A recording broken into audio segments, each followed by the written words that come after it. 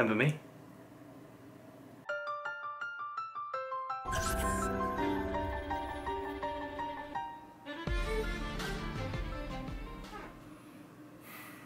Got a new camera and all sorts, bruv. What's up, YouTube? It's the most inconsistent YouTuber of all time. How to. I'm back, who knows how long for. Not gonna make any promises, not gonna make any apologies. Hey, let's go through where I where we left off. So I left you halfway through my prep. I did go through with my show. I went through with one of my shows. So there was the Worlds. The Worlds in Vegas didn't happen. Um, I had to keep prepping through that. That was supposed to be in August. But I went all the way through that and did the O2 show in London, the European Pro Am show. So I was competing as a fitness model in the pro division. Ah, let's get straight into it. Let's get straight into the analysis. Okay, so I was first out. I hate being first out, man, because you've got to set the tone. I prefer being towards the end. Okay, so at the show, I weren't really as full as I hoped to be. Um, I was really catching up from the morning. I was quite flat in the morning. Um, happy though. You can definitely see the difference in size from my last show. I was still the lightest guy in the lineup. Um, I was quite happy with my initial posing. This routine is the most sort of important. The first impressions. I really like that look. That made me look quite aesthetic, which I generally ain't. But hey, work with what you're given. Over to some amateur footage. This is what my sister took from the crowd. Really like that pose. I think that is my pose. I look a bit fuller and harder there. Pretty happy with the back because that was my weak point in previous shows. Had to fuck about with the lighting on this shot because the guy who recorded this, my corner was really blacked out. I don't know, maybe he didn't like me. Jeff, fix up your lighting, bro. Yeah, so you can really see the size difference here with me compared to the other pros. I think that's a good that's a good pose for me. That sort of quarter turn to the left is a really good pose for me. The other side not so much. So you know I was up against it with some really good pros. They're all they're all pretty much bigger than me. Um, my legs could hang. Upper body is again where I need to need to add mass. That's not a good pose for me. That side there. Need to add some thickness from the side. But yeah, there you go. That's probably my best pose there. And he pans away. Cheers. Yeah, so he came first. That's uh, Javat. He's from my motherland, North Cyprus. I thought Jock had a great physique, guy just going that shot. Jamie looking good as always. Um, yeah, so that was the initial three quarter turns. There was a second group of pro fitness models as well coming out. So you'll see there's a big lineup in the next shot. But yeah, man, I was up against it. Um, as you know, the WBFF is untested, and I, maybe foolishly in some people's eyes, am drug free. Uh, so maybe it's stupid, but I just like the way the WBFF shows are run. I like the production values, and I like the way they let you kind of do your own thing. They let your personality come out on stage. Um, just wasn't full enough, man. Look at the, you can really see here. This is this puts into some perspective. So I'm standing right in the middle of first and second place. So Williams Fallard came second, former champion, and Javat to my right came uh, came first. Michael Gonzalez looked awesome. That's the best I've seen Michael there. But yeah, man, I need to make the abs pop a little bit more. But do you know what? I added four to five pounds onto my stage weight in a year and a half off season. So I'm really happy with that, man. I'm really happy with what I achieved. Um, and it, do you know what? For me, I beat my previous best.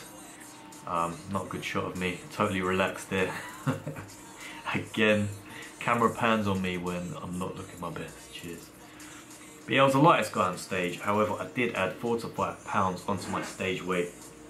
Um, and it was a good prep, man. Like, that's it. That was the highlights of the pro show. So 14th of November, six months on, and I'm just getting back to you guys. That's, that's how good I am at making these videos. So yeah, overall my prep analysis, I um, did good man, I enjoyed it. It was such an enjoyable prep. It was about 40 weeks long um, because of how fat as fuck I was. Picture will be shown somewhere. Um, but yeah, so halfway through my, I had to have leg surgery on both legs and um, it was something I've been waiting for for a while so when it came I really had to take the operation. I couldn't really postpone it. Um, had two varicose veins stripped out of me so I couldn't go to the gym properly for a good two week or two and I couldn't train legs for a good month month to five weeks. Um, I had sciatica halfway through the prep which lasted about eight weeks so my legs I'm surprised my legs came in as good as they did because my legs really didn't get much much training. So what I'm um, going to do is I'm not going to touch this But yeah, it was a good prep, man. It was a good yeah. prep because my macros, the lowest my macros went were 200 carbs, 200 protein, and 40 fats. Now compared with 2013, when it was 150 carbs, um, this was heaven. So can you believe how much I am in heaven? So I'm coming day and night. I, I was waiting for that, for that suffering to start, and it never really did. In a way, I feel like that's a that's a bad thing. I know that sounds stupid, but hear me out. I feel like if I had that suffering, I would. I don't know. I just feel like if I had lower macros, I would have dug a little bit deeper. It just felt a bit too relaxed for me, you know. Um, but again, my whole you might see the new brand, Lift and Live, um, in the corner of this video and in the intro. The positive spin on that is that if I can get down to a pro level physique and compete with the pros, and I felt relaxed, why can't anyone else get in, get to 10% body fat? Why can't anyone else lift and live basically? As the motto says, you can get in great shape. Um, without killing yourself, without suffering so bad. I didn't suffer and I got to a pro level. Um, you know, maybe I needed to suffer a bit more, get my condition, get my condition, you know, etched even deeper. But for me, I don't think that was the problem. I think the problem was I wasn't, I didn't fill up enough um, going into the show. Because check this picture out. When I got home after I'd had food with my boys, um, I drank alcohol and just got loads of food, loads of carbs, loads of junk food in me. Look how full I look when I get home. I'm a lot fuller. Um, you'll see my quads, the difference is in the quads. The quads look a lot more separated, striated. So I think for me it wasn't even a conditioning problem as such. I think I could have etched away maybe a percent or two more fat, granted. But I think the main problem was I wasn't full enough. I think that was uh, evident on stage. But I, I hung with them, man. I'm proud of myself and uh, competing for me it doesn't define me. It's not something that I'm gonna do every year. It's not something I do do every year. It's not something that I plan to do next year. It's something that I'll do maybe now I see myself maybe competing in another three years because for me I want to progress. I want to progress in the gym. I want to have fun in the gym.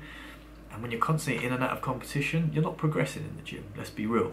Um, and if you are you're going to need to take copious amount of drugs if you're competing every single year and want to improve. So for me, I'm happy with what I did. I took a, I took two years off from competing, year and a half off season before I went into prep, maybe even a bit less, and I put on four to five pounds of lean mass, which is some good shit, something to be proud of, and I'm proud of it. Um, I know I wasn't great at documenting my journey, but that was the end of it. Um, hopefully you can take some inspiration from it even if you don't want to compete, if you want to get in good shape, um, you hopefully this will show you it doesn't have to be suffering, it doesn't have to be a torment. Anyway, I'm rambling. Listen, I am back. Give me a like just to show that you're alive. Otherwise, I'm just talking to myself. So if you're alive, give me a like. Let me know you're about. Let me know this video has reached my subscribers. I've got nearly 2,000. Leave me a comment in the comment section as well. Let me know you're alive, man. What are you up to? Tell me what you're up to. That's the question. What are you up to? What are your goals? What have you done this year? Can I help? Okay, peace out, bye.